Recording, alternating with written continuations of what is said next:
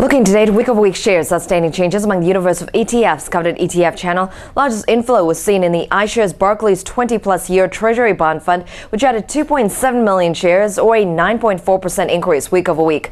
And on a percentage change basis, the ETF with the largest increase in inflows was the iShares AAA A rated corporate bond fund, which added 100,000 shares for a whopping 50% increase in outstanding shares. This is Sayoko Murase for PassFail.com taking you behind the ticker.